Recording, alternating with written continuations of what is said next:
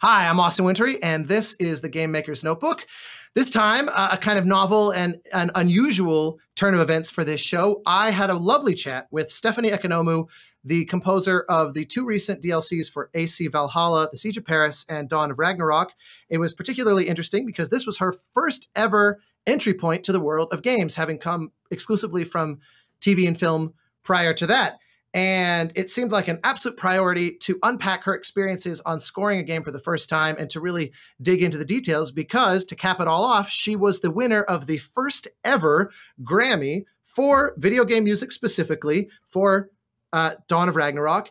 And so, in addition to just being an awesome person and a really talented composer and delight to talk to, uh, a very valuable person to step through what it's like to score one's first game and then have it succeed at the highest level. So, I hope you'll enjoy it. I certainly did.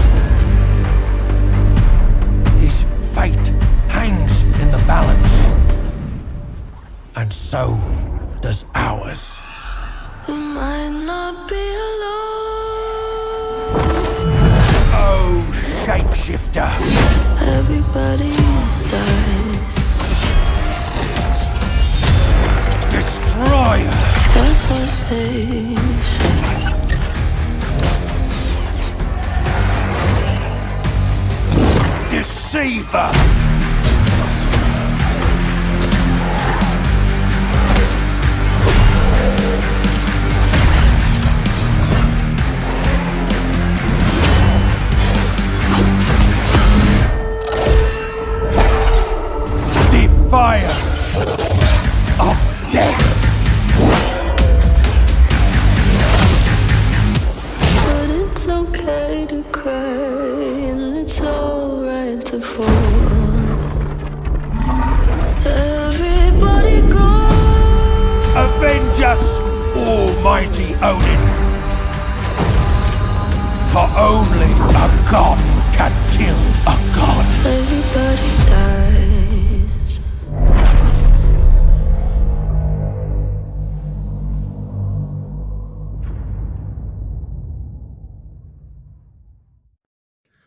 Hello, Steph. How are you?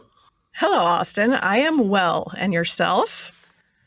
I'm doing excellent. Um, we are one week and change from your illustrious history bifurcating uh, Grammy win. The world, the world will never be the same. It is, it is no less of a differentiation of the timeline as the, you know, BC AD uh, calendar year separation. I suspect. How are you feeling on, the heels of your uh, magnificent achievement? I feel I feel great. I feel still slightly in shock. Um, and I think this is the peak and it's only downhill from here, truly. So that's a that's a fun moment to have reached in my life. Good to be catching you right at the precipice of the of the cliff's edge then. Yes, and, and and at the beginning of my video game career as well. So just peak early and then just peter out into nothingness. That's my that's my life motto.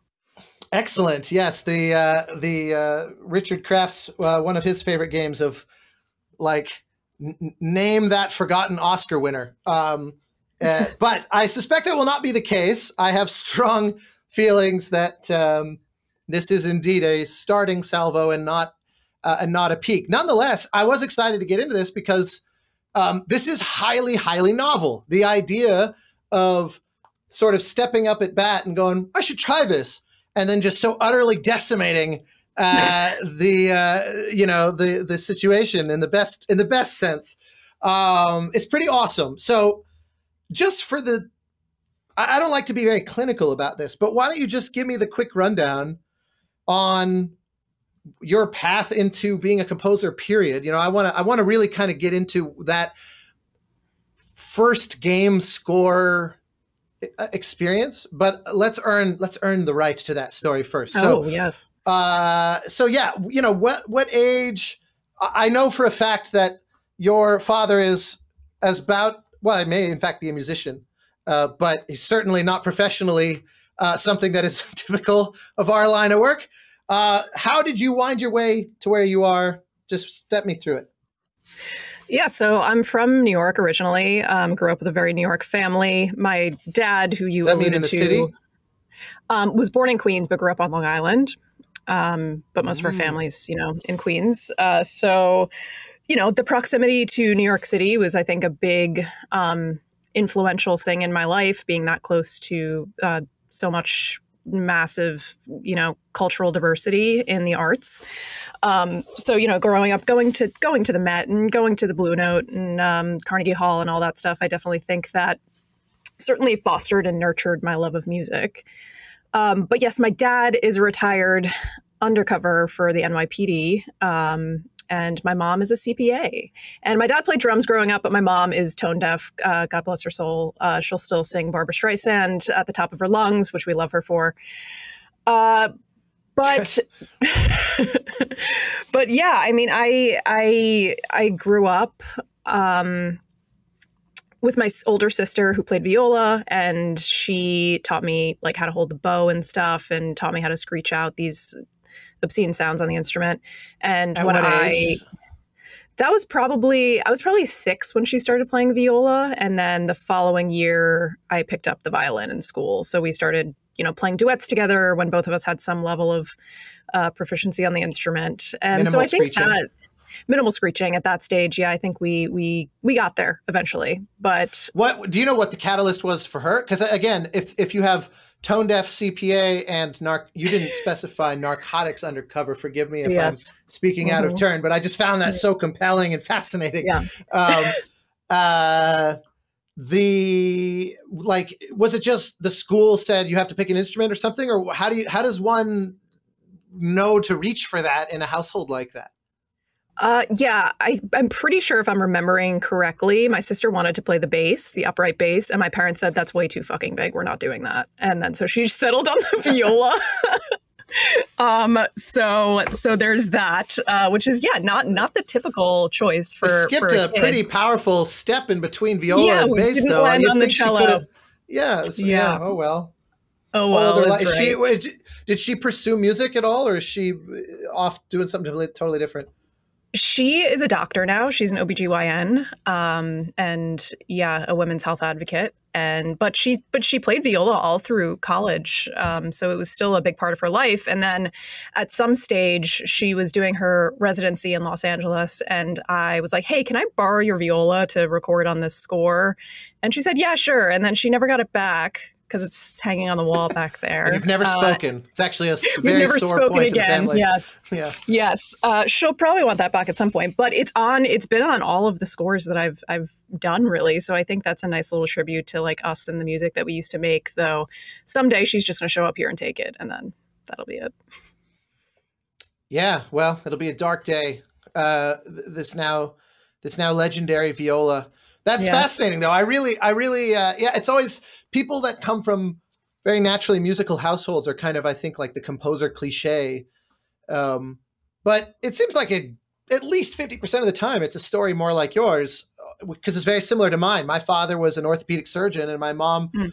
you know. sh like my mom was at home, but she was also kind of a freelance artist, and at one point she also ran a dance studio, Hmm. um, uh, like for kids, you know, like learn like kids, you know, the eighties. It was like learning, you know, dance choreography to Madonna and Michael Jackson and stuff. But um, but point, so, which is I guess music adjacent, but but uh, but yeah, neither at all were musicians in any uh, capacity or, or growing up. So I was kind of the the anomaly. They were like, well, we should probably just let him find his way because we have no experience in this, which is Sure. honestly, I think why I became a composer because very quickly it was like, oh, writing music is way cooler than practicing piano. I I, I would much rather do that.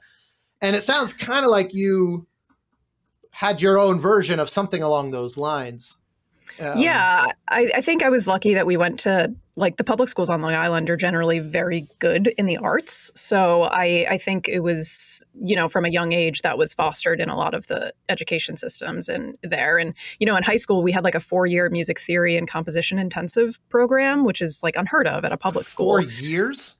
That's Yeah, all of so it high was like- Yeah. Yeah. So it was, you know, Wow. not everybody did it for all four years, but it, that's when I really started writing music. And, um, you know, I had a great teacher. He, he was like the keyboard player for Meatloaf back in the day. And he just was the coolest dude and taught us music theory. And he was just fantastic. But yeah, I think, I think the music program, definitely, I was just encouraged to ha- develop this love for orchestral music, even from a young age. But what about, like, did you play an instrument in school or you just took up piano and that was kind of the, your experience? With I was definitely the yeah no I was definitely the the composer pianist you know sort of B minus pianist. I very quickly learned to write music beyond what I could play personally, um, and enlisted the more serious actual pianist. But I was lucky because when I was a teenager, um, you know, I started I became this obsessive soundtrack nerd thanks to my piano teacher at about age ten, and started going to record stores and buying used soundtracks and things. You know, it's like all my allowance of things was was poured into this. And so even by the time of high school, I had hundreds and hundreds of them. And I noticed that of the composers who I really admired the most, which tended to be on the more tr- sort of old school uh, end of the spectrum, the Williams, the Horners, the Goldsmith above all, um, I was very intrigued by the whole composed and conducted by. So when I was 14 and I went into high school, I, I kind of went stampeding into the orchestra and, and said, you know, I'd like to conduct. Give me the orchestra, please. And uh, the teacher was a guy named Dan Levitt. To his credit, he was like, sure. And I basically had a private orchestra for four years uh, where I could write music and learn by just standing in front of them and fucking up horribly and then trying again, you know, a week later or whatever. And by the time I went to college and had my first actual orchestration class, I had probably spent a thousand hours with a real orchestra. And so it was like, you just learn, you learn from these amazing mistakes. Like I'll never forget, this is so burned into me, but the best, one of the best experiences of humiliation I ever had in my life was uh, writing for the brass the first time when I was like 14, you know, because I started with the string orchestra and it was like, okay, got my, you know, you know, an alto clef. What the fuck, you know, like that. You know, you go through those hurdles, and then, uh, but then it was like, okay, let's add in, you know, the brass, the percussion, blah blah blah, and because they had different orchestras, you know, the school was a huge public school, four thousand students, so they had like five orchestras, and so once I was working with the real full like seventy people, I'll never forget. I start conducting this piece, and the trumpets all were wrong but oddly consistently wrong. Uh, and that was the day I learned about transposition. This position. And and they very generously were like, "Bro, did you did you put this off a step?" And I was kind of like, "What exactly do you mean?" It was it was a very humbling moment. And but that's what I loved is all of my education for those years was that way. It was bumping Yeah. into a wall and then ch- scratching it out, trying it again, you know, a week or two later. And just incalculable education. So yeah, stupidly lucky uh, to, That's to have insane. something like that.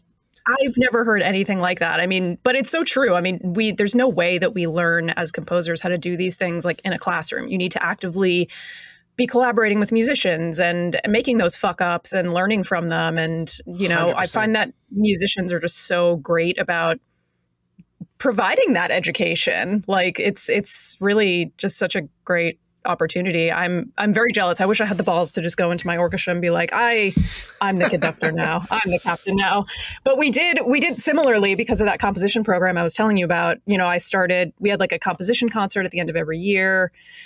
And um Oh, wow. you know, I started like I started with like a piano trio and then was like moving up to the string orchestra. And then my senior year I did I wrote like a symphony, um, like a tone poem kind of thing. And No I'm shit. just remembering I'm just it was not good, but I'm just remembering now that Well, I- my earth I mean, yeah, everything I was that's baked into the, like just assume that about everything I was just talking about as well. By the way, it's, it's, it's piles of garbage, but it's educational Gosh. garbage. Yeah, for sure. Uh, yeah, I, I'm remembering vividly now that when it came time to name my compositions, I came up with the stupidest titles, and they sounded so lame in English that I would just put them all in Italian because I thought that was a better idea. Truth be told, it was classic, like, it was music- worse. Yeah, Yeah, it is such a that's such a like student tell. Um, you know, like completely. you know, con- concerto in F in Sol. Uh, yeah, it's yeah, uh, it's the best. I love those little Horrifying. harmful, har- like of who we were. Yeah, I'll see those every now and Mhm. again, and I'll just think, oh my god, I'm so. It's like Facebook memories from 14 years ago, and you're like, I was such an idiot. What was I? I can't believe I thought fit to share these things publicly. Like, because they're. It's not even that they're embarrassing. It's they're so dumb. They're so just absent any substance or point or value to the world. yeah, it's um, painfully dumb. I was such a douche. I, I try not to look at those Facebook memories. It's too painful.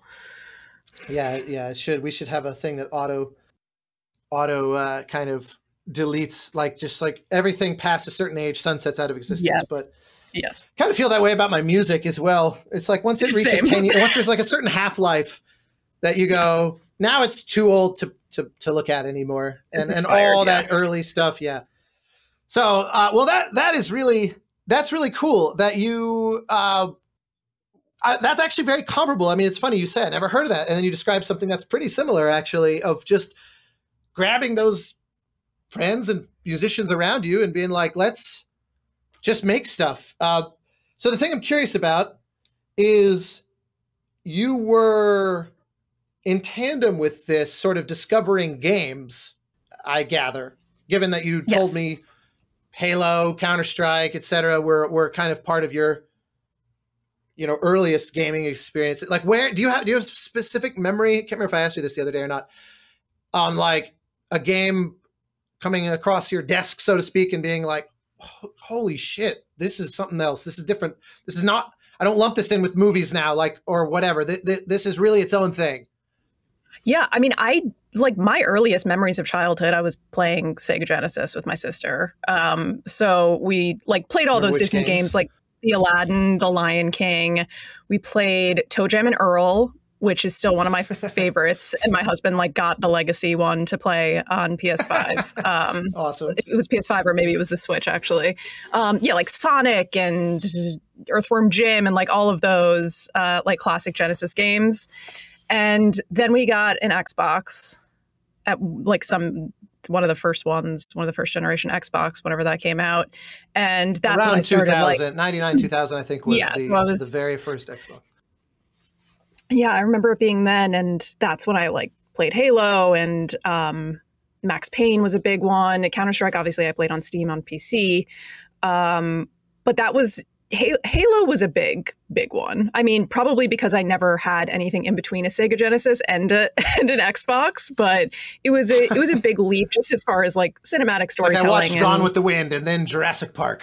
Exactly. Yes, that that was essentially my gaming experience. Um, but yeah, Halo Halo left it a pretty indelible mark on on me. I would say. Um, so did Max Payne, and I think I told you the other day I was. Um, I was like sick in December with COVID, and I I was playing it again, the original Max Payne, and I was like, "Oh, this is janky as hell," but I still love it so much. Um, That So, game was yeah, really I- powerful. I, I, I, I remember the first time, the way that that game kind of like gamifies the, his trauma, Yeah. and the way you kind of go into these sort of horrified flashbacks that are very surreal and nightmare-like. And Yeah. I haven't really played a game. Never mind the cool bullet time stuff. That was cool, but the uh, but the Yeah. the, the the sort of surreal embrace of a psychological concept was really i remember it, it making a huge impression that it like playing through that and not just relegating it to a cutscene or text or Yeah. something like they are a jaded blah blah but like stepping through was huge that was really quite yeah that's a hell of a game It really is. I, I, the the thing that stands out the most to me from that game is that awesome bullet, like the slow mo stuff, and also the yeah, like the nightmare sequences that you walk through with this like horrifying, retelling of all of his trauma and that that shit stuck with me. I mean, that was not like any other. I mean, you could put that in a movie and it wouldn't have been the same experience because you're like terrified to walk through these dark halls of his mind and his memory and yeah, I, I that game is is so fantastic and just like the noir slash comic book aspect of it too, I think is really awesome and unique. So, you know, yeah, I think this this is just games have been in me for a long time and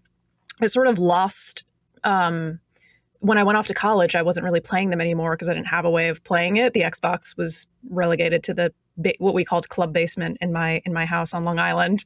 Um, so I I kind of like Club lost basement? touch with it. What is that? What, what what does that mean? That feels like a So- story.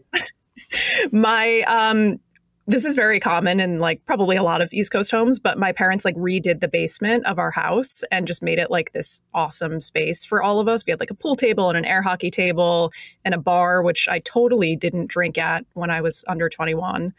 Um, and uh, yeah, like, unfa- I know, just, um, While meanwhile, your narcotics hunting father is across town, like, I'll show these ne'er do wells, yeah. taking us Uh, back to Prohibition era, one one one baddie at a time. I don't even know yeah, what my they dad would couldn't be more the opposite. He's like, "You want some tequila? Have some tequila." Uh, but yeah, and then we had the games down there. And we had like DDR, and we would play. You know, it was just a good time, and it was a good hang for all of our friends and family when they all came over. So we call that club basement.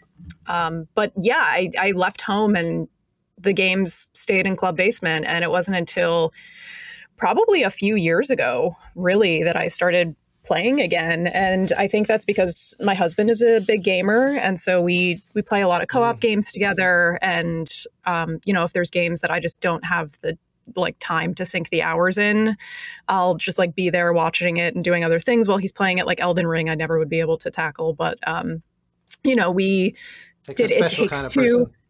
is a special kind of person. Yeah, it takes two we did together, which was absolutely fantastic. Um, Unravel, A Way Out, and yeah, some other stuff that I've So you're just a started on my Josef. Fares fan, I gather. Then, uh, Big fan, big fan. Um, and yeah, like I've I'm in the middle of The Last of Us and Stray, and started getting into some of the Annapurna stuff, which is amazing, which I know you know a thing or two about. I I have I have done some dancing with Annapurna. um, yeah, so that so that all kind of beautifully hands off to what I was wondering then, which was where. Well, actually, two part question. Did your interest in music and composing as this thing in high school immediately lead to, oh, I actually want to do that for a living? Like, because some kids compose and then, you know, maybe here and there write something on the side of whatever their life becomes because it's a creative outlet for them, Yeah. but never actually pursue it or even take it seriously. At some point, you obviously did take it seriously. So, what was the catalyst to that? And was it primarily film, or did you ever have games, knowing that you're playing games in the midst of all that, you have a positive association with games? Mhm. I'm assuming. You know, like if you're falling, you know, very few people fall in love with Halo without simultaneously falling in love with Marty O'Donnell, for example. Like, I imagine this was all kind of on your radar. So, when did it become a thing where you go, actually, like, why can't I do that?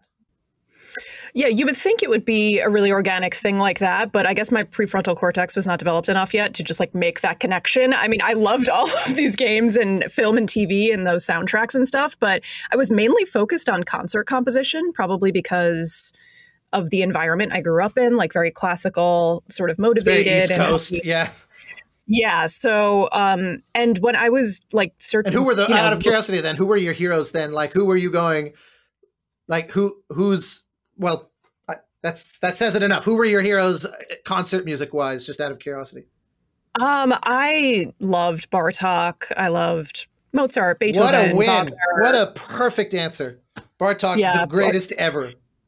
Yep, yep. That's that was he. He's he's one of my favorites for sure. Um, but I, when I was deciding where to go to school, I was still torn whether or not I wanted to actually go hard in the music direction because I was really highly academic in school. So I was like, do I want to specialize and go to a conservatory or is that limiting myself? I was still totally unsure if I wanted to like really give it a go in music professionally. And my dad was the one that convinced me you should go to a conservatory because that'll be you'll you'll find out so quickly if this is something that you want to do because it's so balls to the wall. And that was great advice. Um, I still sort of was yearning for a more like liberal arts, well-rounded education, but I ended up scoring my first short film while I was at music conservatory, and then it just like clicked immediately from there. So I never had the opportunity to do it, or I never sought it out to like score to picture before then. I took like mm. one film scoring class in school, but that was like it. We only had the one semester and it was a graduate course. And I took that my freshman year, first semester. Uh, and then I had some, yeah, some, some buddies I went to high school with who were at Emerson and they said, we have these short films. Do you want to try scoring them? And the second I did my first one, I was like, this is it. This is what I want to do. And it just clicked immediately. And so then what about the games component of it? Did you ever like prior to crossing paths with, with Ubisoft and be, and coming on board with you know the Valhalla DLCs. Um, was it a thing that you were actively kind of on the hunt for or seeking out or like you know in conversations with the agency going this is a thing I'd really like to have on the menu you know like at what mm-hmm. point was it really kind of a pursuit conscientiously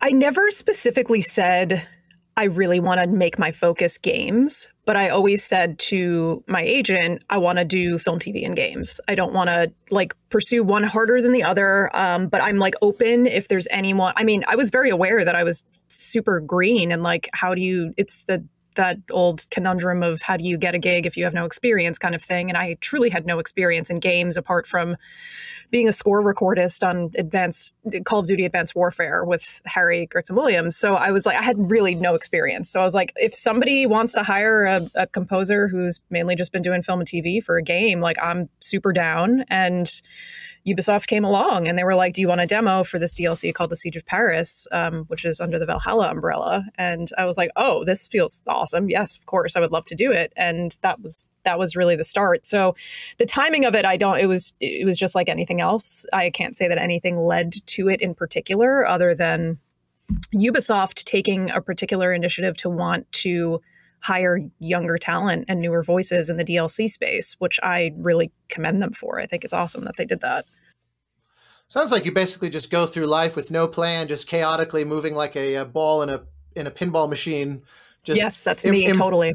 Embracing ricocheting off objects and hurling towards other ones and going, yeah, you know what? Now this, let's do yeah, that. fine.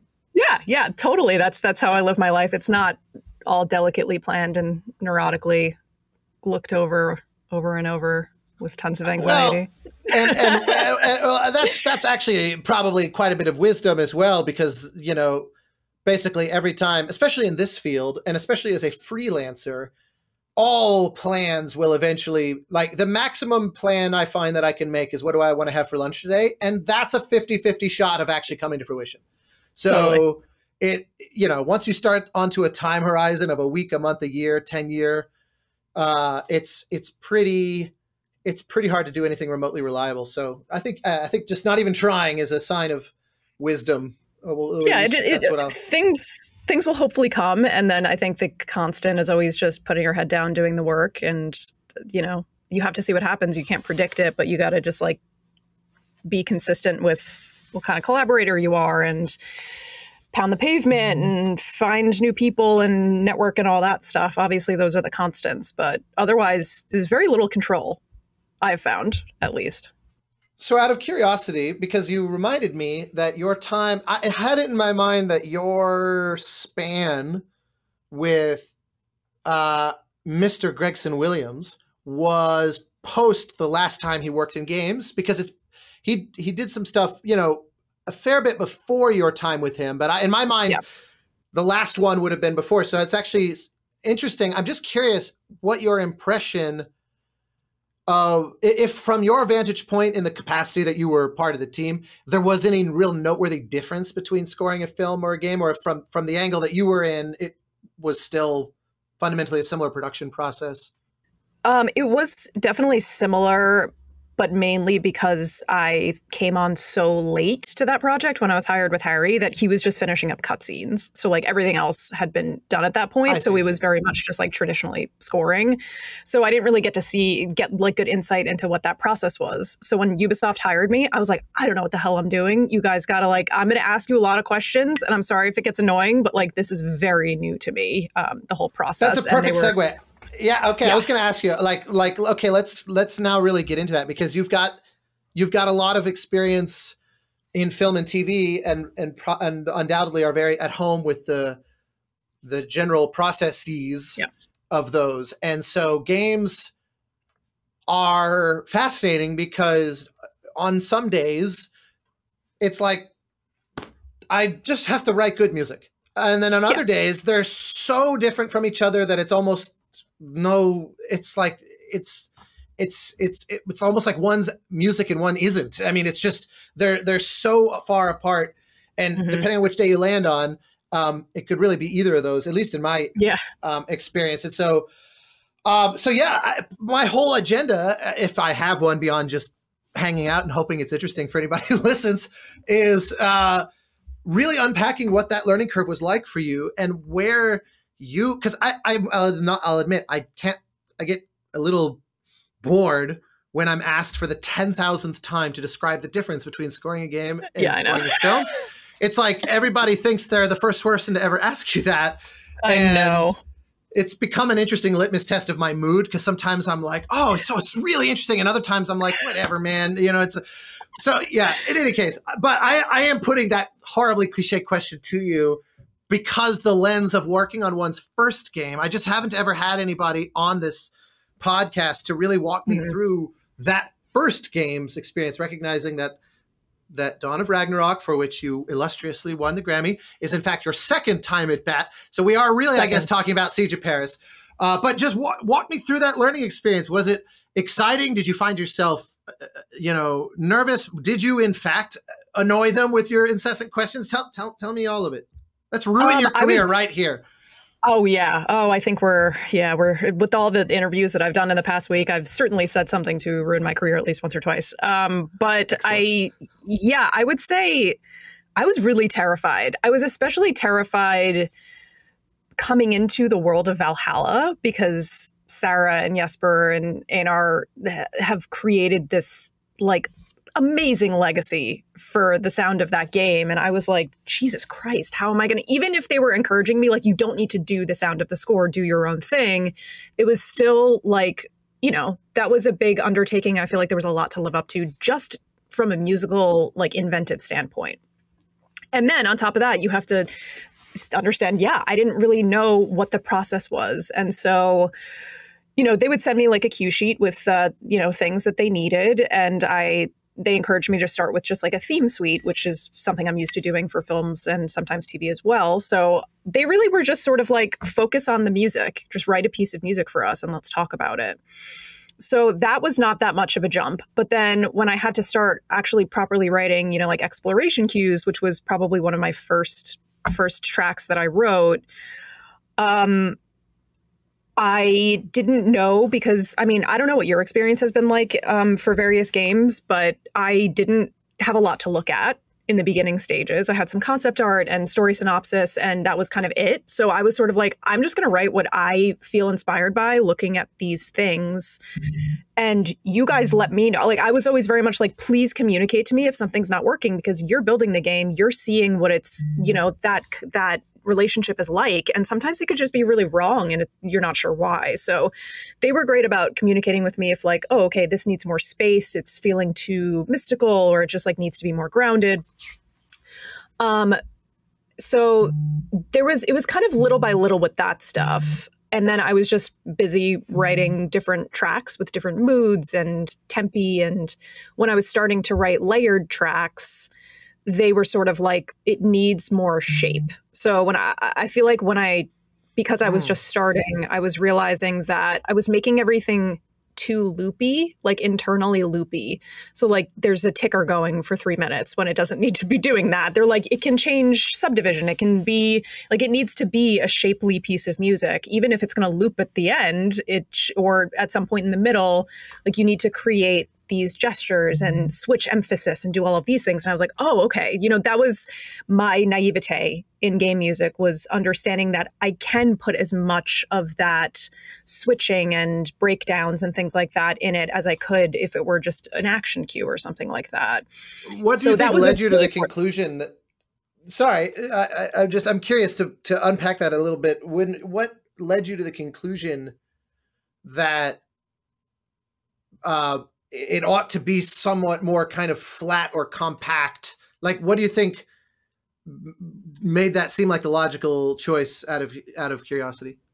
I don't know exactly what it was because the game music that I know and love isn't like that. I think I was just sort of unaware exactly of during the implement- implementation on their end where certain things were going to happen and be triggered. So I was like, do I need to keep this level of consistency in the sound throughout? Or like, I wasn't, I just didn't know. So, like, my first go at a couple of those cues were just too flat and like not, they weren't as musical as they could have been. Even if there were like themes and modulation, it was just like some of the layers, like the percussive layers, were just sitting there. And when they said that, when they explained to me like that it can do these things, I was like, oh, okay. I don't know what, there was just something in my head that I had assumed I couldn't do those things. But truly, there were no limitations. I think the only, the other kind of you know, rookie mistake I made was in boss fights. I was sort of building towards the end of the cue because that's I think that's just like an instinct in all of us to want to just like make it really fat towards the end. And they're like, that's mm-hmm. not going to work because you loop back and then it loses all the steam. So they were with the boss fights. I learned that they want it to be at like at a ten intensity level the whole time, so that they have the ability on their end to add those arrange the cue and add those layers of intensity as you get towards beating the boss which is kind of the opposite of what you learn in film and tv like you want to like create these shapes and build and do all of these other things which is not as practical at the start and the finish. So giving them all the fodder that they could just you know width wise um and density wise was was another thing that I had to readjust to. But I feel like when I once I learned those sort of very very crucial things that you would think anybody would know about game music it was pretty smooth i think from there on out. Um, it was more so just uh, you know me asking them a lot of technical questions about like what would you like things to be labeled as? What would you like the file names to look like? Well, and everybody's different in that in that regard, and it never fails to amaze me Yeah. how sometimes really huge and complex games have a very ad hoc or like there isn't Ubisoft tends to be pretty sort of type A about that stuff, but some companies are just it's just chaos where files are called like green squishy thing or whatever, and you're like, Oh, oh, I'm pretty sure I know what that means. But it's funny because I would actually argue when you say it's, you know, the instinct as a film and TV composer is let's build to the big finish. And in reality, what we're doing is staying at 10. I would actually push back and say they're both building to the big finish. The key is that one is left to the player as to when that happens, which means that you have to you have to have a toolkit that empowers them to build to the finish. Uh, Exactly. But it, it, it, it's supposed to be like the lens I always look at this through is if you're watching someone play it, it should feel like a film score to you. Uh, Exactly. The, the the the player in control might be very aware of, oh, I just triggered this thing, and that was really satisfying and felt really awesome as a player. And that's one of the things that's more awesome about playing games than watching them. Disconnect from Gen Z Twitch stream, Austin says. Uh, uh, but uh, to to the audience, it, it will nonetheless read like, wow, that that was so like beautifully sculpted and linear. It's like the Yeah. it's like the music somehow knew how long the fight was going to last, and that that's to me the the white whale that is always being is chased because it actually is the same. That's one of those things that actually I have been beating the the drum for the duration of my career that that um, uh, film and TV the the the best of the best film and TV composers, and you could you could include opera composers or theater composers in this, have a real sense of drama over time, and that Mhm. game composers would do well to learn from that, but find a way to make it so that they're kind of like tricking the player into creating that arc. Uh, Right, that is right. fundamentally the the goal. I would posit humbly as but Yes. one person chipping away at this block collectively. But um, uh, so yeah, that's where it's like I think that your instincts are actually completely accurate. They were simply showing you how it's achieved within their system, but it, you were actually doing the right thing. Yeah it's it's all it's just sort of like as composers for film where the last the, the the buck stops with us whereas in interactive media it needs to be adapted. It's it needs to communicate with the player's actions. And we as composers are not responsible specifically for how those things how long it is before those things happen. And that's why it's that this this field is so highly collaborative with the audio directors and and the supervisors and everything like that because they're they're arranging they're doing all they're making those shapes with your music. Even if you have the foresight to know like oh this is what it's going to be like at its biggest and its fattest and like i can see how the building blocks are going to go along the way if this is arranged in like a, into a 15 minute 20 minute piece or whatever um, but they fully like have the capability of like shaping that narrative for the player with your stuff. So it's just like a different sort of it, there's a trust there with that too. Um, but but yeah, that's exactly right. It's like they are making that that sort of shape for the player. Did you find that the quasi surrendering of control that is implicit in that was sort of a queasy feeling like you're because you are right they are effectively arrangers on a on a certain yeah. level. Was that did that take adjusting to? I have a hard time relinquishing control in general. Um however i was so new to games i was so new to games and all of it was um I, I, just had a lot of trust in in them because they're Ubisoft and they're amazing, the music departments. And I was sort of just like, you you obviously know what to do with this stuff. Um, I don't really, I haven't played Dawn of Ragnarok, so and Siege of Paris, I've seen a little bit of, of it, but I don't actually know how how the implementation went, and that's something that I am just disconnected from. So yeah. the fact that I am so intense control wise with pretty much everything in my life, apart, but I just like departed from that and just like let it happen. I think it's mainly because it's going to be a learning experience for me. Like I'm going to see how it was done and maybe that'll affect, you know, how we collaborate moving forward and I can ask more questions specifically about, you know, mm-hmm. how it's going to be done in the final or whatever. They would send me some gameplay that with it implemented and I kind of got a, a feel for some things, but as some some scenes, some sequences I have no idea. So I really should play it and see and then that should influence how we move forward next, but truly so green that I was just like, yes, enjoy, do whatever. Let me know if you need anything. Does that feel fundamentally different to you? From, I mean, arguably it is, but I'm just curious your subjective take on it. Uh, the, does it feel different from the way a film dub? You really are also relinquishing control, and most dubs you have to deliver pretty stemmed out, and they may make just as substantive changes there hypothetically the goal is not to like it's yes. really about problem solving than it is creative exploration but some directors just go wild with it uh, at the 11th hour and it, if you if you listen to the the sort of james newton howards and and uh, hanses of the world who have seen it all and done it all and and and and are continually kind of up at bat they all just seem to have in common this attitude of it's once it's out of my hands yeah you, you know it really is theirs now uh, how do you reconcile that with being such a sort of self-described control freak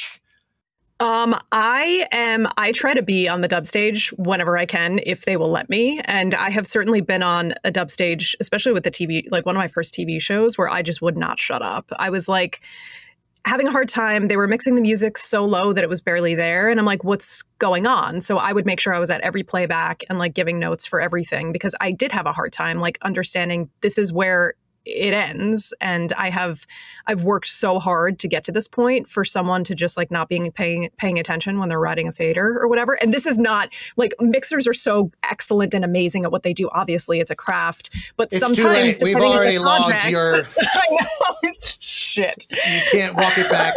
You just hate them. You hate mixers as a oh, demographic oh, of society. Yes yes globally. I i do. Um but you know to to a certain extent like yes you are you are relinquishing. Um, but so I, how did this feel it, different than that? Like if you've had to learn that, then if not, you've had to learn. It, okay, it's not. It's this. It's the. It's the same. I mean, I do feel like in film and TV, I try to you know, I I I just try to be there for playbacks, like final final dub playbacks, and at least then I'm like, okay, I know what to expect. I'm not going to go in the theater three months from now and be like, what the hell happened? Like, I'd rather Right. know ahead of time and understand why. And oftentimes that could be a note from a producer being like, we don't like this, or like, you know. And I think us composers, we tend to do crafty things, like when we deliver mixed stems we're like well i want to tie that you know like let, let's put those two stems together because i don't want them to fuck with the balance of it or something like that like i don't want them to be able to get at something um, and we do silly things like that but i do think Yes, that being being present and that that's my level of okay this is at least i'm aware so i'm not blindsided in the end. But i think in you know it is it is the same thing. If you're not going to all the dubs and all the playbacks and all that you are just being like this is it. I've done it. This is the product. I, it's in your hands and that's all. And you it's it's all trust. And there's so much trust that goes into this career in general whether it's trust with an assistant trust with um you, you know an editor or with the final dub mixer or the audio director. So I, I think it's all about being being a good partner in all of that and trusting the experience of someone else. And if you want to be there be there. But having that mutual respect as well for other professionals in the industry i think is really crucial. And i had the utmost respect for ubisoft and trust obviously in how they're going to implement my music. And at the end of the day the soundtrack is the big thing for the composer presentation right? Because that's a very different experience listening experience than it is it's going to be in the game anyway. So that's where i put all of my control is into what the soundtrack is going to be too. We'll get to that in a minute because that's definitely something I'm curious to uh, hear how you sort it out. Um, but did you, going into this, assume there would be an equivalent of a dub that you would be able to participate in? Like, did you ask at some point about those kinds of steps, and they basically were like, "Yeah, just go ahead and send us the."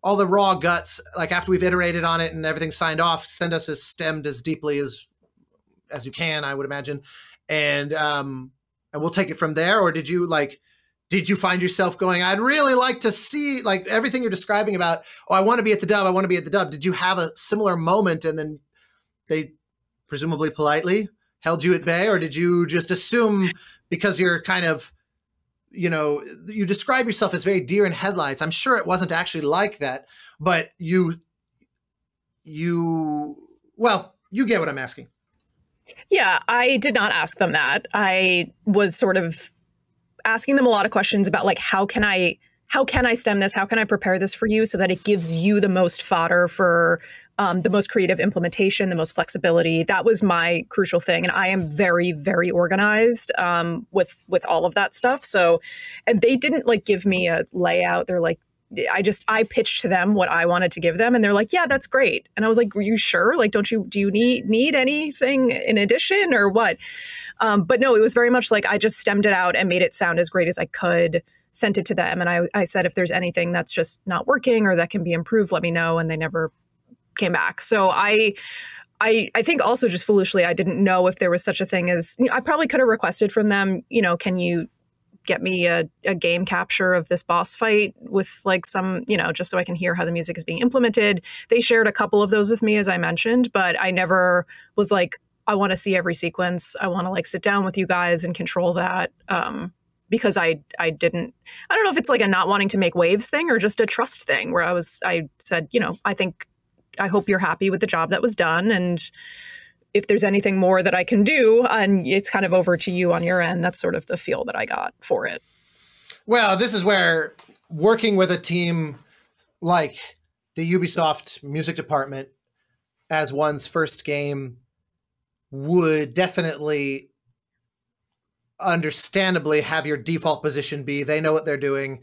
Yeah. You know, my goal is to do because I've worked with both types of teams. I've worked with teams where it's clear that I knew way more about this than they did. And if I didn't intervene, God only knows what would come out of it. And it's Sure. not because they're idiots, it's because I just have so much more experience.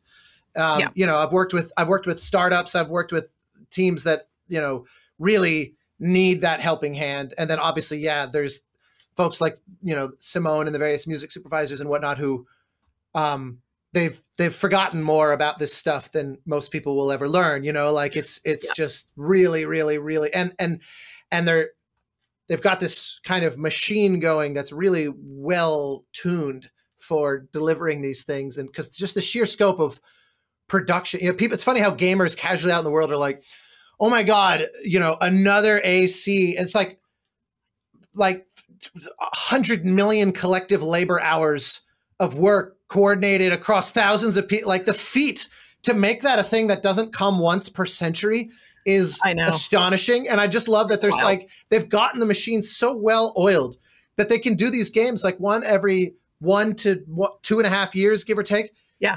and the idea that that's like you know it's like reached a point of almost stimulus overload with certain people. You always see those folks complaining. I, it's always hilarious because I go, you know, those folks complain and then the games still sell a gazillion copies. So it's like it's exactly. obvious that They're still going to play it. They just love to bitch. They want to bitch and moan. Where's Mirage gameplay? It's like, okay, well, th- there's other things now too. I mean, you're going to get it, but like everybody relax, please.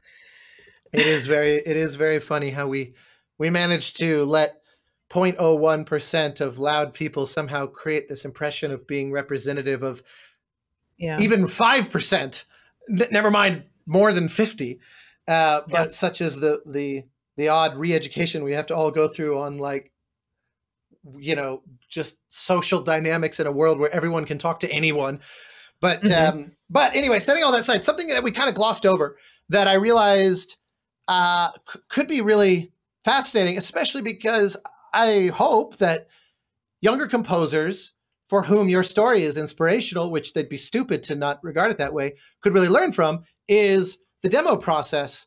Uh, because Ubisoft does these things kind of a variety of different ways, and, and I actually have no idea what your process was like. You know how they, what the steps were. You know, it, like sometimes it's very iterative, sometimes it's more talking than music. all- that kind of just every company works differently, and even Ubisoft's different teams like Toronto, Montreal, Quebec, they all kind of had their different flavors. So, what was that like for you? How long of a period was it? I just purely for the educational value to anyone down the road. I'd love to hear what it was like.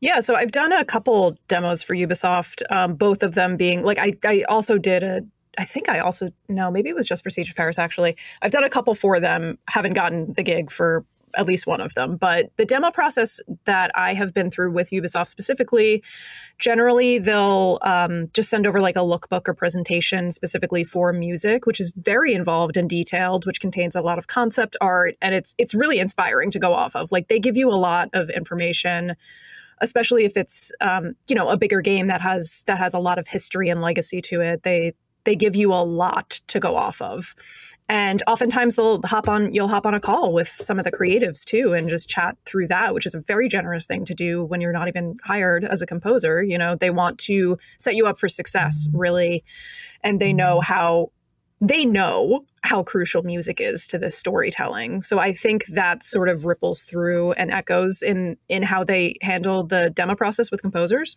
I think it's Um, also they'll worth just those- interjecting. Sorry, uh, hold that thought just for Yeah, five no, seconds. I think it's worth interjecting that, um, generally speaking, the I- don't actually think it's necessarily generosity on their part to have those calls because they will the people they're inviting to demo is already a whittled pool. It's just worth pointing that out that it's Yeah. not like you knocked on their door as a random person off the street and said, "Hey, I'd love to throw my hat in the ring." Like you, Sure. you will have already come on their radar. They would have presumably listened to a reel or something, and they've got it down to, I would imagine, never more than six people, probably less than that, where they're they're truly seriously considering. So now it is like about investing in that process. It's just again for anybody who who later listens to this who might not be familiar with that, they they will often give you a lot of that time be, because you're you're very serious. This is not a long shot. Like you're you know your odds are you know one out of three Yeah. or whatever. Like and it's it's it's not a cattle call. They never at least on a Ubisoft and most major publishers they don't really do those. Sure. Just shoot us whatever and a thousand people submit stuff. And I just wanted to interject that for the Yeah. record as it were. But go ahead, continue. So you they, they Sure. stepped you through everything. Yeah, they walk you through stuff. Um, you get all those great materials to look at. And I think for any of the demos I've done for them, at least, it was, I had probably a week to, to write a demo anywhere between two and a half to five minutes or something like that. and they don't really mind like they sometimes they're specific about okay we'd like to have an a section that's a little bit more ambient and introduces a theme and then the b section just like build towards a more action oriented or stealth oriented thing um, sometimes they don't really mind what you do they just said be inspired by it and fit it within this length and then deliver it back to us so that has been my experience in the demo process. Um, pretty pretty good. I mean, I, I've definitely had to do demos for television and films where they're like, "Can we have it tomorrow?" And I'm like, mm, "Go fuck yourself." But uh, Go fuck yourself. we'll do it. And then yes. but we'll do it. and yes, absolutely. So, I mean, I th- I do feel like I do feel like there's a really wonderful respect for composers in the game world. I don't know if you I, I've never been like disrespected in film and TV, but it feels like there's this built-in sort of I don't know, they you're such a big part of the team and I have felt that respect even in the demo process. And that is unique to my experience, but I have felt that way about Ubisoft certainly. So yeah, that that has been what the demos have looked like. And luckily on Siege of Paris, they they hired me after the demo and then hired me for Dawn of Ragnarok after that. Yeah, happily I don't think that is especially novel. I think that we are we are made to feel a little lower on the food chain in film and TV. And I don't even think it's done out of disrespect, like like they look down on us. It's just we're just not as important as other things they have to deal with. And when Yeah. you're ninth in line and you only have time for seven things, like it just happens. And it's it's not malice, in other words. But in games, you're right. It does seem that music is also it's almost like the default position of game developers en masse with rare reasonably rare exceptions is a kind of spielberg style direction of i'm just banking on music being d- necessary for the like i don't know what i don't know what the scene will how it's going to play yet but like in the case of spielberg he's like we're just going to have no dialogue and it's be pure visuals and music is going to carry the day and i'm just assuming john williams is going to come up with the right thing. And most directors are kind of too afraid to trust this giant unknown that's going to come at the very end for their film to Yeah. And Yeah. but games uh, for whatever reason maybe because we have the opportunity to be in there earlier than the last second Totally. Yeah, exactly. it, but it does seem like there's a certain yeah no music is going to be the difference of this working or not and like of course we're going to make it that way like just it's all it's almost like it would be bizarre for them to to think oh let's make sure the game works beautifully with no score then we'll add score like game designers don't think that way but that's routinely common for film and tv Yeah, yeah, it's so true. I mean, we're part of the world building in a big, big way musically, and that's why they like to hire composers at like the genesis of that story. Even they've been working on it for a while, but like, you know, I was hired very early on on the games that I have worked on. Um, and film and TV is usually like, oh, we've been in the edit for a couple months. We should probably think about music now, uh, which is, you know, like it makes sense. Sometimes it can be a bit of an afterthought. Certainly not with everyone, but you know, I think I think starting early on with early concept conversations has a lot to do with the respect that they have for composers and their contribution. how long were were those two um dlcs Um, like, how long was I working on them? Yeah, like I, I realized I had no concept for that because obviously DLCs are are kind of a microcosm of the of the thing for which they are DLCs overall production. Yeah. But some of them are so gigantic that they're borderline sequels. Uh, you know, that's, that's one of those odd phenomenon with certain games, and so um, my assumption was that the time would have been considerably shorter, but actually maybe, maybe Yeah. not. Yeah, so Siege of Paris was was like a, a pretty short short game. Um, I can't remember the amount of gameplay hours it was, but I wrote about forty minutes of score for Siege of Paris, and I worked on it maybe for about three months. And then Yeah, Dawn so of in game Ragnarok terms, was, pretty short. Yeah, yeah. Dawn of Ragnarok was much longer. It's like the biggest expansion eh, Assassin's Creed has ever done. Significantly more gameplay, and that was a little over an hour of music over the course of. By the time I started writing, I would say like four to five months, maybe. Yeah, that feels about right. Um, Yeah, um, which is So- like a good amount of time. It's like the perfect amount of you know time to get that stuff done. So I was oh well, and I it. mean, and and like you said, it's so luxurious compared to film and TV, where you know, especially if you're doing like network style TV, where an hour of music is that's by Friday. You know, it's Yeah. it's it's not it's Totally. not not even next week or next month. Never Yeah, mind six months from now or whatever, four months or. So it always Yeah. feels, and it's always funny how when people work like I, when I, at least when I've been hired by folks who their only knowledge of the composer's world is through games, and they'll call and they'll go, "We Mhm. have about a year. I just want to make sure that's going to be okay." Uh, Like, and I'm sitting there going, the number of times that I've had to pull stuff out in like days, just literally like Yeah. 45 minutes of music over a three day period or time. It's always, I- I've definitely gotten complacent, or sometimes I'm like, I mean, yeah, it is pretty short because I've so like kind of gotten gotten a little a little used to how nice that can be, but but it is actually Yeah. really possible to do it in way less time, and and and uh, so it just puts us in a position of being the one who reassures them. Yeah, yeah, believe me, it's all good. We'll make it work. It's all good. Yeah, I want to ask you what your experience has been like working on longer form games where you could be on it for a couple years. How how do you plan for that? Like work within that time if sometimes they'll be like, "Yeah, we have this amount of music we need by this time," and then they go away for a few months. Like how do you balance other projects in there when it is such a like long-term thing? Well, usually things are organized into milestone schedules so that even if even if you're like, I know I'm not going to be done for 3 years, I do have a sense of what needs to be done by next month because there's usually Okay. if they don't offer that, I will usually propose something like Sure. that so that Otherwise it's too like it's yeah, there it becomes you this can't grab onto abstract hypothetical Yeah.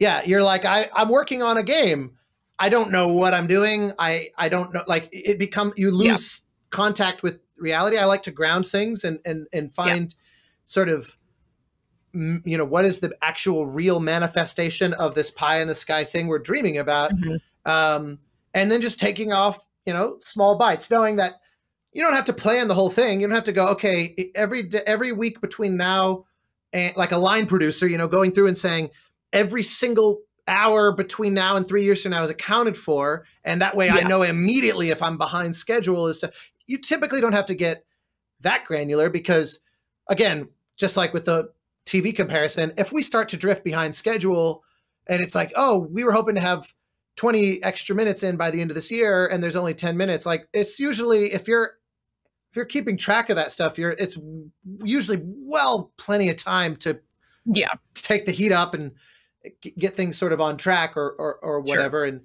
i also i also really like having regular meetings just like I constantly you know every every week or every two weeks even if there's nothing necessarily to show new just to make sure that you're very aware of what's of what's happening because it happens all the time that like I'll go to the all hands meetings with teams. Like I really like going to these big stand ups where there's like 80 people on a call or whatever. Uh, and they're like, everyone goes through what they did that week. And sometimes they'll be like, oh man, the animation department just did the fucking coolest thing. I'm going to go, I'm going to go make something for that to show them next Yeah. week. Like no one asked for it. I just saw it and was like, it's going to need music undoubtedly. Let's go do it.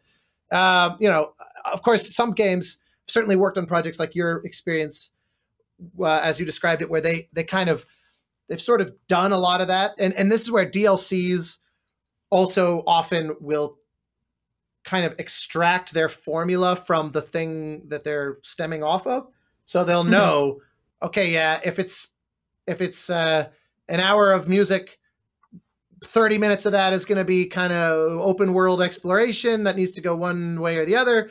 You know, a little carve out for some side missions a little carve out for some cinematics you know the bulk of what's remaining will be combat and then a couple little like uber boss fight combat variants. Like it's like they'll fit into these buckets that are pretty well understood and you might adjust Sure. a little bit from here a little bit from there but they've got it pretty dialed in. But when it when you're starting on something from scratch and it's like new ip new especially if the mechanics are really unusual and it's like no one's ever really quite done this before in my experience at least the first third is just throwing shit against the wall and going, oh, that, yeah. didn't, that didn't work. Let's just throw that away. Yeah. And I did this game, The Pathless, where a year and a half into it, I threw out 100% of everything I'd written. Uh, and I just decided Wow. this doesn't work because I've thought of something better. And the game has achieved, like, they've designed so much since I began that is Yeah. different from how it started. We all have clarity. We finally know what the game is. You know, the nice Exactly. thing about working on an Assassin's Creed game or a Far Cry or a Call of Duty or whatever is you don't like the nice thing and the bummer is you don't have that experience. Like you're kind of your knowns are known, and that can be very relieving but it's also fun i enjoy the act of discovery that comes with totally new ip where you're you go oh fuck we've been doing it wrong we only know Yeah. that because we handed it to some stranger they played the game and we realized oh my god we haven't been making the game we thought we've been making and Sure. you know that's that's just the nature of of those kinds of projects which is again equally the excitement and the bummer of those as well Yeah, yeah. I mean, on Dawn of Ragnarok, we had that on a very micro level where the first few minutes of score that I wrote, they were starting to put it up to um, the game, some of the exploration bits. And they're like, we're realizing that it just needs to be more spacious and it needs to just like breathe more. And they didn't know that that was going to be the case until they really got to that moment. And they showed me like some gameplay and I was like, oh, fuck, yeah, that's totally right. This is not, this is not the feel for it. It needs to have this like greatness to it. Um, so so yeah, I can see that very much happening. I feel like I get that way on regardless of what project I work on. Like the earlier stuff that I'm tapping into first, even if it might be gut instinct, like you got to live with it for a little bit, and then you. I always circle back and I'm like, I hate this so much. I'm rewriting it because like you get to the to the meat of it and you realize, okay, this is it. This is it, not the stuff I wrote first.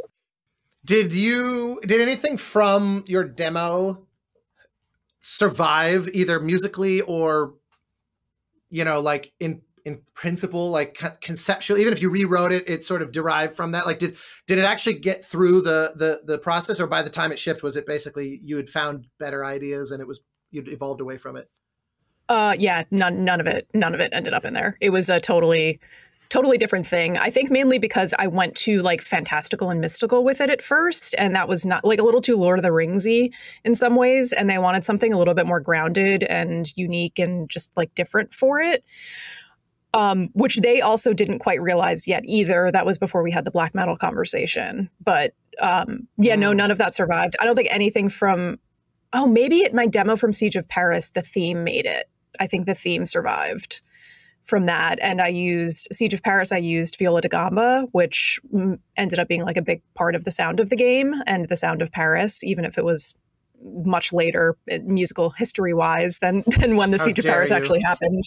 I know. I'm just so rule breaking. there's historians um, that are looking at this going the fuck kind of historical accuracy is this score in our in our in our game where you know earth was seeded by aliens and and uh um you can access your memory you can have this like carl jungian access of memories because of a magic table uh yeah Yeah, How she'll dare never you. work in this town again. Never work again. Uh, yeah, but but the yeah, Dawn of Ragnarok was there was there was some failures. Actually, my first stab at the theme suite after I got hired was also I think I just, nothing survived from that. It just wasn't right. Um, which is consistent for me through all of my work is that my first stab at everything fucking sucks. So at least I know that now and I know, okay, it's just hard to get motivated to suck for a little bit and then get it out of the way and then find something that works. But it's part of my process, as they would say. well and i think it speaks to your collaborators at ubisoft that they They didn't fire gave me? that I agree. space yeah that, exactly they gave the space for experimentation or you could even say the space to fail it's to me it's actually very cool that the demo uh is sort of largely in the past and the final score was free to move away from that because Yeah. it really shows the difference between what it took to get the job versus what it is to do the job and they can be Yes. you know pretty damn uh, dif- like distinct from each other sometimes and sometimes not i mean there's occasionally i mean I, sam Hulick, I, I found out not- not that long when i did this recording actually with, with jack wall and we were talking about mass effect he was saying that sam was invited to, to demo and wrote a piece that like if you go on spotify it is far and away the most popular thing that certainly he did if not anybody did for the Mass Effect games. It's it's just the music that plays over the map they call Distant Worlds. And it was his demo. It was verbatim his demo. And I was like, that blew my mind when I discovered that because I just that's never at least I'm with you. I always try to very quickly discover what makes it shit and figure out how to scrub that Yes. out. And I'm just, And just thrilled Yeah. I got the job. Uh, Yeah. And but occasionally lightning seems to strike even when you're just speculating on what it could be and you haven't even seen anything yet. Yeah, yeah, and I think I think it's true. Like there, Ubisoft was there was obviously something in the demo where they said, yes, this could work, even if this isn't you know, right in the pocket right away. How could it be just with a demo? Some people, but like you said, some people, yeah, that's fascinating. But they heard something. And then I think that also goes back to the trust thing where they said, we think this could be a good collaboration. And we know that you have these inflections that we think could be really great. Um, and even if what we ended up with was a huge departure from that they they took a chance on it. And taking a chance especially on a composer who has no game experience that's no small thing. And i'm grateful that there are game companies out there like that and studios uh, likewise you know that are doing that because that's the only way that we we get newer voices in, we get diverse voices in, and all that. So, um, yeah, I'm I'm very grateful that they did that, and I'm grateful that they did allow for that experimentation, especially with the black metal and stuff. I mean, it even took a little bit to get to the right black metal balance that felt right for the game too. So it's all being dialed in and that's that's the case for for most games, but especially when you're doing something stylistically that might be a departure from something else, I think that's usually the case. Hundred percent. Well, I I, I want to also just ask real quick um, about the soundtrack album process because the nature of the kind of toolkit of future interactive music that is often delivered, there's a certain sense of oh, I just wrote a track and it's just like I'm just gonna make a playlist of the music and it's just straight on, and I think at least that's if if Twitter is any gauge, that's what I think a lot of players perceive the game soundtrack to be. It is just literally here's an accounting of what I mm-hmm. wrote. And at least in my case, I tend to just to lean into the editorial process to the point that it is almost a new production. I've actually even like snuck proprietary things in there where I'm like, I need to write, I need to connect these things better than they they they're not meant to flow into each other this way in the yeah. in the game. But now that I have them side by side on the album, it's not. So I'm going to just like go and write and record like bits just to just to kind of bridge those gaps, or or I'll even yep. like uh, so many times on orchestral sessions, I'll like record a bunch of transitional things that I'm only going to use on the album because I just know yep. I'm going to need them. Um, sure. So how much of that stuff did you do did you and also just how does that compare to your because you like uh, something like jupiter legacy you're writing presumably a lot more music than you're going to put out on the album. Yeah. So there's an editorial process from uh, both a filtering and a literal like connecting this to this, which are not actually adjacent in the show. Blah, blah, yeah. What's your thinking? How do you navigate that? How was it different here relative to those? Blah blah blah blah blah blah. Pretend it was an interesting. Yeah, I I it is an interesting question. I, I would say that my process is much like much like yours. Um, I looked at the putting the soundtrack together as an opportunity to make this music into something that can stand on its own and it, it's a different listening experience potentially than what exists in the game. So you know we have an opportunity there. We have we have pieces of music that we designed to have these multi layers and it's just like begging for a remix or an arrangement or something like that. So i that's that's what i did. I i kind of went through i cut the fat. I i had you know maybe How'd you define layers what was on, the fat? Like did you like what what what what made that ping that way for you uh, just something I didn't really find particularly interesting to listen to. Um, like some, like some cutscene stuff that was just like more tension. I don't really care to include. Like, I wouldn't want to hear that on a soundtrack necessarily. Well, that's not true. I don't really want to listen to my music ever, but I, I think that just, you know, like if it was if it was Alan Silvestri's tension cue, I would probably listen to that. But for me, I wanted it to be like really concise and um, for the flow to be right. And I don't like including things that I feel like just don't necessarily have a place um, so yeah, I try not to be too precious about my music in that in that kind of way. Truth be told, I probably could have trimmed off fat off of the Dawn of Ragnarok soundtrack, but I'm I was happy with how it, how it all came together and the performances that were on there. I really wanted to be part of it. So mm. yeah, I I went through and you know I would take I would take these layers and maybe I would like start out with the fight layers on top and then like break it down in all of these different ways and then maybe connect it to other music that kind of ended up just like working together as a performance. I would say the only thing on the soundtrack that existed in its full form is the first track, the main theme, because that was written just to play out on its own. Like it didn't right. have to, you know, that was just a, it actually a full was piece a of track. music. Yes, exactly. But everything else is is an arrangement or a compilation or it has sweeteners or it has like all of these other things to make it what I hope is is a fun listening experience on an album. It, it, like was that cuz I, I I'm curious conversations like this make me feel like I'm just really not a very smart person because I came to the conclusion of everything that you're describing because I would like my first time ever doing a game. I I just basically put all the music in a playlist and thought, oh, maybe this will be the album. And I hated it. I was like, this is so boring. And it didn't even occur to me that it would be boring until I literally forced myself to listen to it and then th- realized, like, okay, there should probably be an editorial process here. But it sounds like you sort of you intuited that ahead of time, which impresses me. Yeah.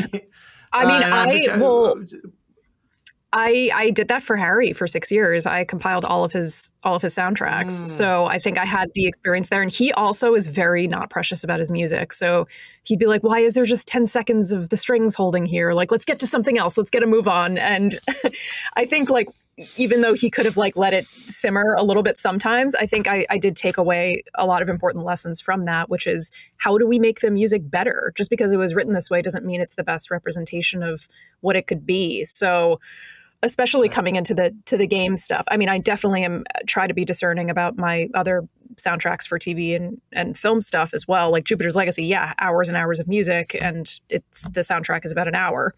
Um, and I had to make a lot of decisions, and I make a lot of people listen to the soundtracks too before I let it go. Mm. Um, and like I think we all have those couple people in our life who gives us gives it to us straight, and you really trust their opinion. So I send it to them, and they're just like, "Yeah, we just really, you just don't need this track." And I'm like, "Thank you, okay, great." Like I wasn't, I thought it was going to be a really good you know addition but to to hear it from somebody else i think it's important to get that outside perspective as well but especially in the game when I when I came into game music, I was like, this is this could be fun. This could be really fun way to arrange the music in a in a different way. And and it was. It was it was a long it was like it took me a week to put the soundtrack together and I put it together in my mother in law's guest bedroom over Christmas. Um, and that was that was just everybody was just there like what the hell is she doing up there but it was yeah i think it's fun i think it's i'm a, working a, on that grammy cool is what i'm doing I really should have uh, thanked her in my in my speech. That was a mistake.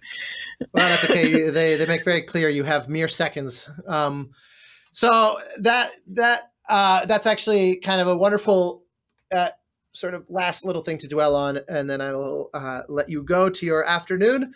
Um, the sort of two in one, something that uh, I, you already have felt uh, that we talked about the other day is that there is a there is a baseline awareness of what we do amongst gamers, even the most casual of gamers, compared to whatever their counterpart is in film. Like somebody who watches one random Netflix show a year is exponentially less likely to be aware of who wrote the music and what they're like and things of that nature or even just the idea that that's a job that people write music you know uh, that it's just it's it's very very rare for film scores. If you're not john williams if you're not you know it's not i would it's not even howard shore if you're not the lord of the rings um, yeah. or hans like people just don't pay attention to it. But games it exercises a far larger place in their consciousness and there's a lot of reasons why I think we both sort of understand. I, am really curious, what has that experience been like for you? Because I'm just assuming, and if there's any righteousness in the universe, uh, it, it is the case that you've been the recipient of far more attention from just the average player than you're probably accustomed to from like the viewers of Jupiter's Legacy or the Step Up stuff or et cetera, et cetera, et cetera. Yeah. Like, what just just how's that been?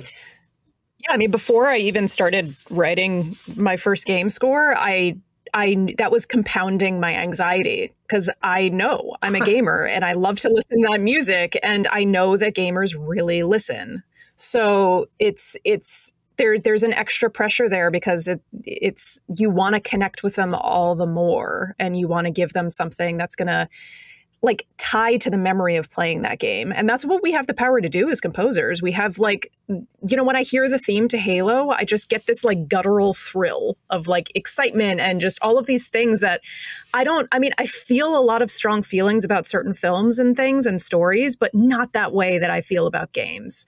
And we have a responsibility there to like to create something great for them that they can just like tie in this very visceral way to the story.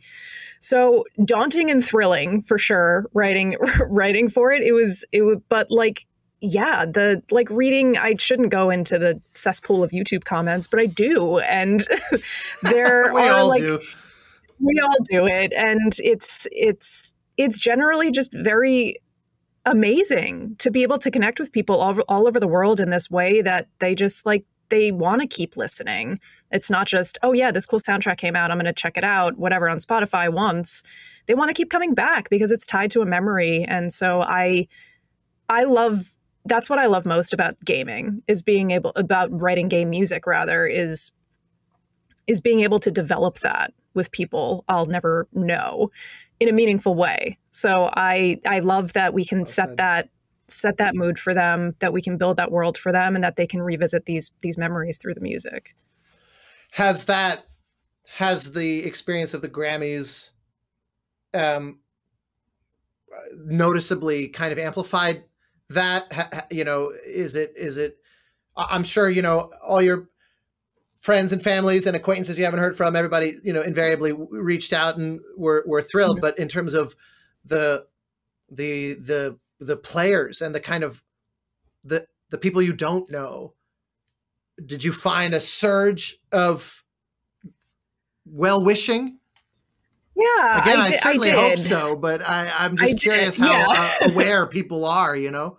Sometimes these things Yeah, feel like the biggest deal in the world to us and then we realize how inside baseball it is and so you Yes, it's that's why i'm curious you know if because the ac community tends to be pretty active so that's why i'm i'm, I'm asking in a very leading i hope i know what your answer will be but i am genuinely curious yeah. I mean, I think everything I do is very inside baseball. But when it came to Assassin's Creed and all the you know social media stuff that they were posting, everybody was really lovely and um, said that they they really did enjoy the soundtrack, even if they didn't play the game and they're just asking for Mirage gameplay. Like a lot of them listened to the album, and uh, they they they loved. They said they connected with it and they enjoyed it, and they said it was well deserved, and that that does go a long way because you always want to be able to to impact people with your music. Ultimately, I think that's why we all write music is because we want to connect with others. So yes, it was very lovely. It was lovely to hear from some of the fans.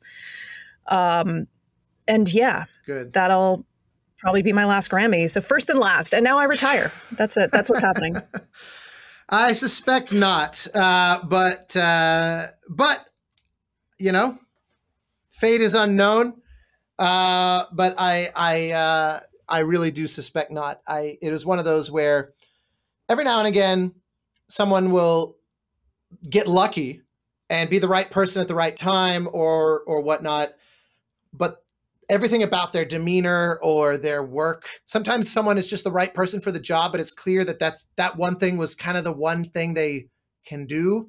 So they they milk everything they can out of it and well they should because there may not be many more opportunities and then there's other folks yourself very much included at least from my assessment uh, that that's it couldn't be more the opposite. It's it's this is just one example of many and there's a lot of places and the most exciting thing is it's a lot of unknown places. Who knows where what will come next? I mean you yourself have spoken to that you know this particular blend of that kind of like scandinavian black metal with this very sort of almost ethereal textural electronic stuff with these other kind of guttural and visceral instrumental th- that's not exactly like a subgenre you spend all your time in and oh my god how great a game came along that let me do this thing i do otherwise all day long. Like you you are an explorer. I think that's one of the things that we all share in common typically in this line of work because every day is different. So i would not be surprised if you're just routinely uh kind of in those pools um for the film and the tv side uh, it's been very gratifying to see good things happen to good people. Uh so from from my standpoint i'm i'm i'm i just love it. And i'm very happy to have made it an excuse to to get you on here and and share you know your your insights. And i really it's just invaluable i think to to get while the iron's hot and while you're you're not going oh yeah what what did we do there because it was like 20 years ago like as i love asking i've had jesper and a lot of other folks Mm-hmm. who've been doing games a long time when i ask about those early game experiences it is often you know hmm and so I, I love yeah. I really, I really love the opportunity to to kind of um, to hear it fresh, knowing that yeah, you you you know you delivered at the highest conceivable level. You know, it, there's nothing, there's nothing green or first game esque about your work. It's like this odd trivia that it would be, uh, or that it was. Uh, and so, anyway, I think it's awesome. Uh, that's that's all I've got. You've told me all the things. Uh, All the I very Thank much you. appreciate your indulgence of all my curiosities. I actually, when we hung out the other day, I very deliberately avoided asking you all these things I wanted to ask you because I knew we were going to be doing this so shortly thereafter. So, uh, thank you for enduring my interrogation, um, and uh, it's it's exciting to see what comes next. Thank you. Thank you for all those kind words. Truly, it means so much coming from you. I have such deep admiration of you. So just hearing you say that is makes me want to light all myself this on out fire. of the episode. but, No, um, no, you know- none of this. but thank you truly, and thanks for having me. Yeah, I mean, God, let's just do this every week. I guess. I mean, it Yeah, no feels, shit. Feels, it feels right. Yeah.